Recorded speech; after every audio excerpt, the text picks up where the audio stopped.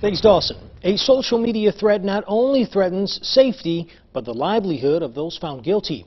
The charge of terrorizing is serious even for a juvenile. Tonight, 15th Judicial District Attorney Don Landry tells News 10's Renee Allen he has a plan. According to state law, the charge of terrorizing carries a fine of up to $15,000 or 15 years of imprisonment or both for a person under the age of 18. That's a lot of time to give away. The social media threats that have recently poured into area schools have sent another message.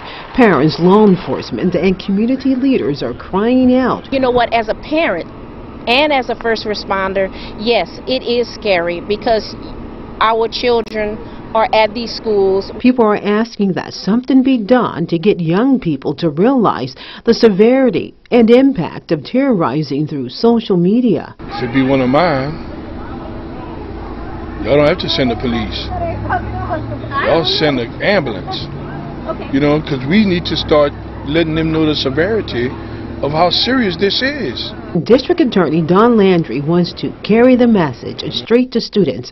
Landry has a plan to team up with the parish school system. Uh, asking them to allow us to come in and explain to our young people how serious we are about these violations of law. He says he spoke with local law enforcement who expressed a willingness to go into the schools with him. There's a safety concern, he says, that begins when the call of a social media threat is reported. We've got police cars with lights and sirens. We've got fire trucks with lights and sirens.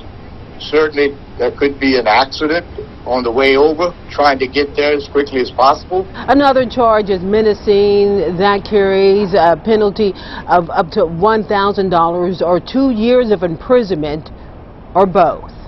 Renee Allen for KLFY News 10. Thanks, Renee. Now, the DA believes parents could be sued for damages associated with these online threats. The parish school district tells us that's a discussion that may be taken up at tomorrow's board meeting.